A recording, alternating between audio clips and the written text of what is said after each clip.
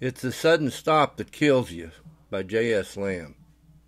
So there I was, falling through the sky, wishing I'd put on my parachute like the pilot asked, but thinking I'll be macho and impress my girlfriend by frolicking around the airplane chute-less and shirtless.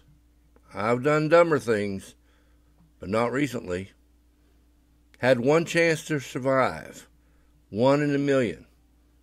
But when that's all you got, that's what you do. So I did.